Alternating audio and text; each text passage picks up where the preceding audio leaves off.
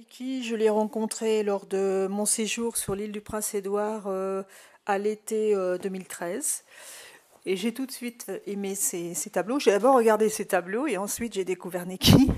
Et en fait, euh, ce que j'aime dans ces tableaux, c'est qu'elle détourne les pierres, les rochers qu'elle prend ou ce qu'elle peut trouver sur les plages de leur fonction.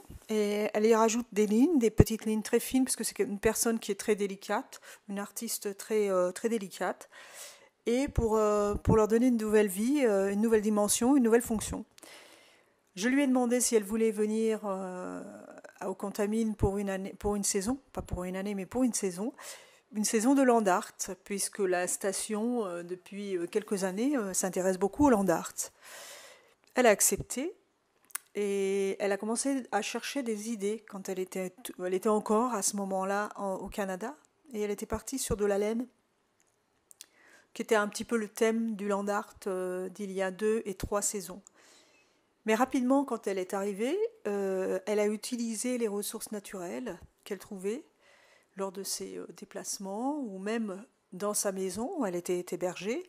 Elle, avait trouvé des, elle a trouvé des, des, tiges, par exemple, et elle y a installé sur chaque tige des pompons. Chaque tige et chaque pompon ont été installés dans un champ de neige et ça a formé un champ de pompons qui ressemblait à un champ de fleurs. Et ça, c'était d'une très très grande beauté, d'une très grande poésie. Et euh, d'autant plus que les, les, pompons se balançaient quand il y avait du vent. J'ai trouvé ça formidable. Par la suite, elle a décliné, euh, elle a fait d'autres choses. Elle a fait un oursin géant toujours en prenant des branches. Elle aime beaucoup les accumulations de choses. Et finalement, tout au long de la saison, elle a fait aussi euh, des, des, motifs dans la neige.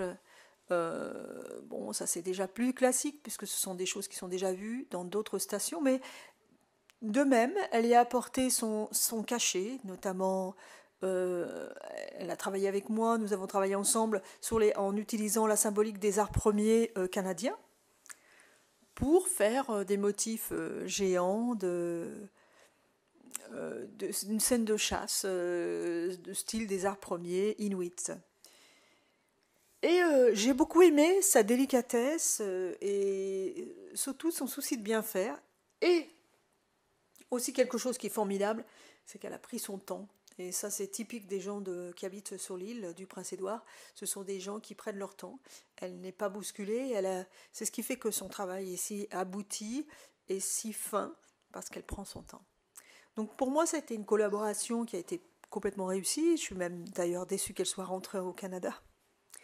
Et euh, j'ai vraiment apprécié euh, toute la créativité, l'inventivité et euh, le respect aussi de l'environnement qu'elle nous a apporté. Tout ce qu'elle a fait était vraiment 100% contamine, c'est-à-dire que c'était des éléments que l'on trouvait au contamine, et en même temps, elle a apporté sa petite touche personnelle, sa, sa, sa joie de vivre. Voilà, c'était, ce fut une belle saison de land art.